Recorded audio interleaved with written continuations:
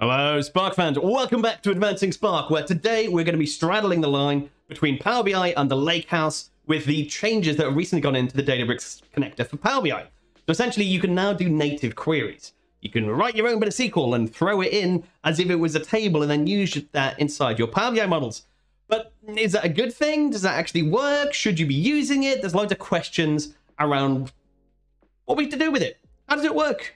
Should you actually be using this in anger in your Power BI models? Now, as you may have noticed when I've been doing various different Power BI demonstrations in the past, I'm not a Power BI expert. I've had abuse from the Power BI cat team about my fairly shoddy setup inside Power BI Desktop. And that's fine. I admit that. That's okay. So in a minute, I'll be introducing a new guest that we got for today who's going to be helping us as our Power BI guru. Now, as with previous videos, we're still actually sort of saying, if you're interested in learning Spark, then do check out our Spark Fundamentals training. You've got that link down below, that Spark fans discount. Give you 10% off if you want to have a go. And as always, if you're new around here, don't forget to like and subscribe. Now, everything we'll go through today, we'll pop some links down in the description to go and check it out for yourself. But without further ado, I need to introduce Johnny, our resident Power BI guru. Hey, Johnny. Hello. Hi, Simon. How's it going? Thanks for having me on. Ah, it's quite all right. Welcome. Joining us. Again, kind of, you know, neon sign brethren. oh, yes. Cool. So, well, what are we talking about? Why, why, why do we care? Okay, so uh, recently Databricks have released some new functionality as part of their Power BI connector, the ability to do uh, native queries in SQL. So, what even is that? Um, if you've been using the Power BI connector for things like SQL Server, this has been there since pretty much day one. Uh, but when it came to the connector uh, for Databricks, uh, you couldn't. There was no capability to do native queries. So probably the easiest thing to do is show you what I mean. Yeah, yeah, sounds good. So I'm going to switch over. We'll see your screen. Let's get this up. There we go.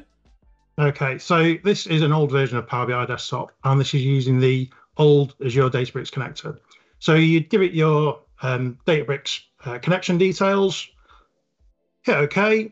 This would take you to uh, a little wizard that will show you the available uh, catalogs for you. I've probably have to excuse whilst this cluster spins up. It's a serverless cluster, so it should be a matter of minutes, though, seconds even, let's say. Very cool. I'm with you so far. So far, this is my level of demo. okay, so uh, we've got the catalogs available to us here. We're using Unity catalog, and we've got a demo data catalog here. And inside, we've got a uh, curated schema. And for argument's sake, let's pick our factor sales table. Okay. So that that was effectively that was the experience for importing data into Power BI um, with the old uh, Databricks connector. Okay. Now we've got a new connector. Slightly different experience. So main difference is this. Got a box down here where you can write yourself some custom SQL. So I have already prepared Blue Peter Styley, a SQL query here. As you can see from the dialog box, you do have to give it the default catalog. So yeah. even though this is optional in the connector, you can uh, you you have to use it here. So uh, what we've got it demo data, I believe it was called. Yeah, okay. And we're away.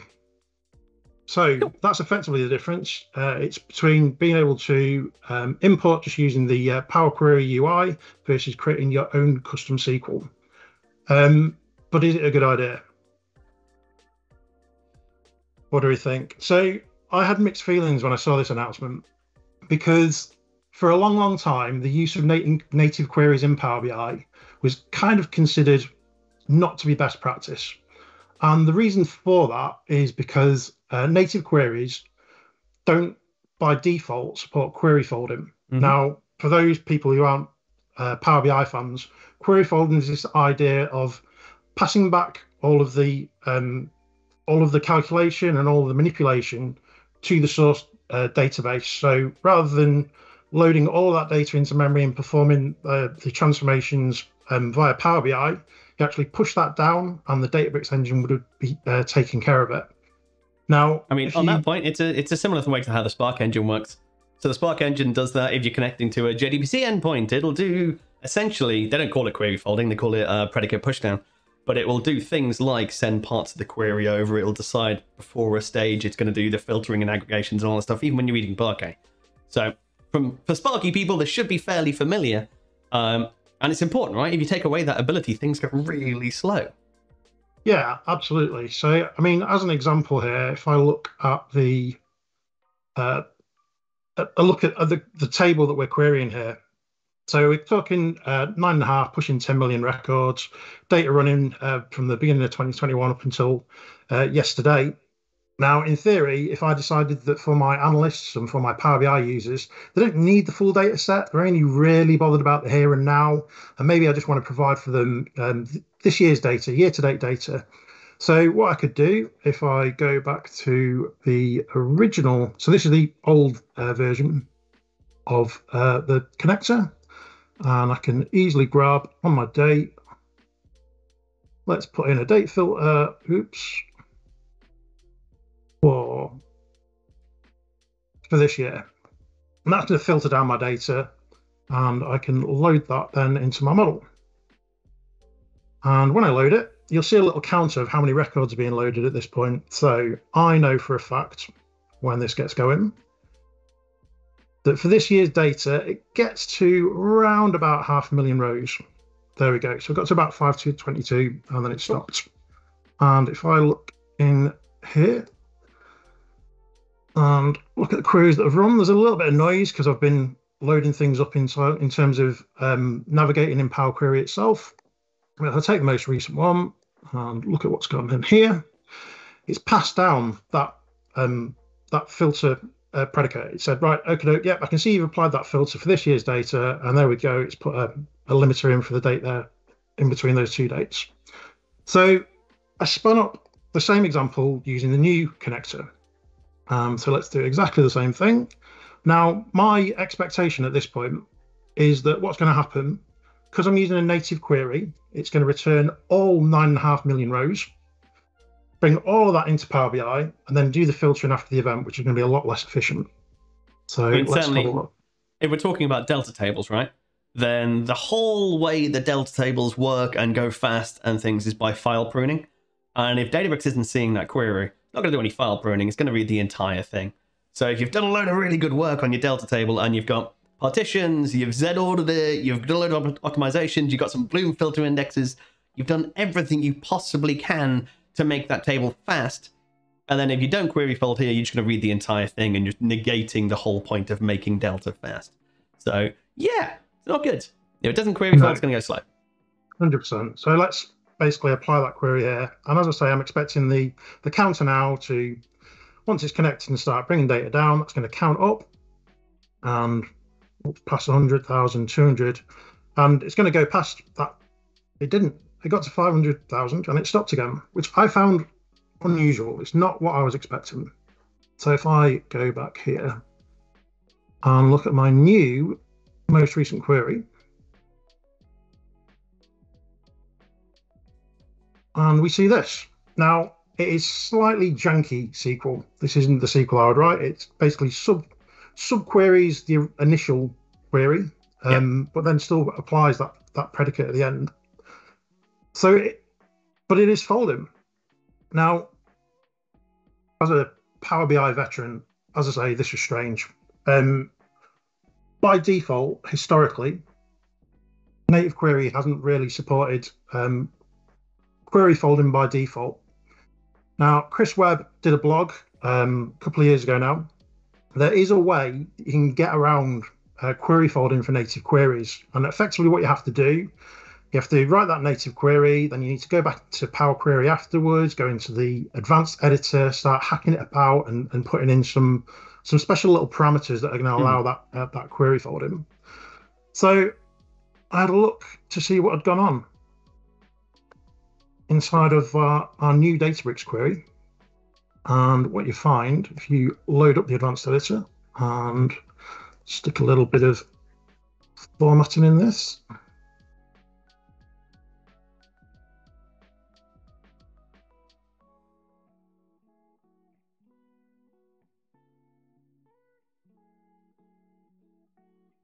the line we're interested in. So by default, it does it already. That enable folding true by default is enabled in this new Databricks connector. Cool. So I guess my previous advice that would be you want to avoid native queries because they they break query folding. Mm-hmm. Isn't strictly speaking true by default with this Databricks connector. Cool. So from a oh, this is bad practice, avoid it because it's going to tank your speed. That's no longer true. So now it's just a case of do you want people to do this from a data modeling, from a governance, from a looking after things point of view rather than a pure it's going to go slow. If it's going to go really slow, cool. Bad practice, let's not do it. Should you be creating a model that has some custom SQL and some objects? I mean, that's the uh, the million dollar question, I guess. My view, my opinion, as a guy that has opinions, I still don't think you should. I personally, so if you've invested in a Databricks instance, I personally prefer to see any kind of transformations on your data happening upstream in Databricks. So it's the classic Matthew Roche, uh, Roche's maxim of data transformation. Transform your data as far upstream as possible. Um, so I think really I'd still probably avoid using native queries. I'd still want to see that transformation done upstream in uh, in Databricks. Yeah, makes sense. So whether you could just create it as view objects in your kind of you know curated gold layer if you like, or materialize it if there's a lot of work done there. There's various things you could do inside Databricks to actually sort of create this thing. Uh, any any scenarios when you wouldn't when you'd end up using this? Possibly. I mean, suppose you're in a, scenario where you, as the analyst, uh, you're relying on the data engineer to do that to do that curation for you. So you've got your your data's in the silver layer or the uh, the base layer. Um, it's it's been cleaned, but it hasn't yet been modeled. So you could use this as a way to to get around that rather than actually waiting for that um, curation to happen into that gold layer. You could bypass it potentially. I think mm there's a risk there in terms of incurring some technical debt. You'd still yeah. probably want to go back uh, afterwards and change that up. Um, but it could be a way to to get around that, or perhaps even a way of doing a rapid prototype and a bit of experimentation. So maybe ahead of that um, curated entity being uh, done by that data engineering team gives the analyst the opportunity to uh, see how that might plug into a Power BI data model up front. I mean, it's for me. I mean, that that argument entirely makes sense. You know, if we talk, so use the medallion architecture with the example of bronze, silver, and gold. Um, you know, if we if we're just starting a, a project with a client and we've got a load of data when we've cleaned it, but we haven't yet decided what the data model is, we're trying to figure that out. We're running kind of data modeling sessions with a client, but we have some analysts trying to do some, yeah, absolutely rapid prototyping right at the very start. If they do that on top of the silver layer and they have to use Power Query to shape the data and get it into state, the technical debt of taking that and transferring it back into something that we can actually sort of use as transformation logic inside um, inside Spark, uh, it's, it's pulling it apart. It's having to basically just completely rekey it based on what it was.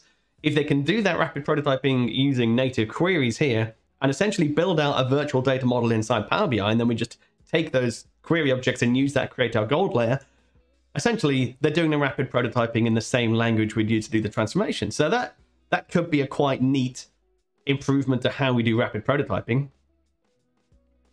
Yeah, it's a it's an option. I think for me, the good thing about this feature being introduced, it provides flexibility. Yeah. I probably quite often have my happy path hat on, and I still would say that in a perfect world, I'd like to see this curated before it goes into Power BI. But yeah, obviously that's me being an idealist, and that's not necessarily how the real world works. So having the option and the ability to do this is still definitely valuable. Yeah, I think there's the the other thing on my side is security.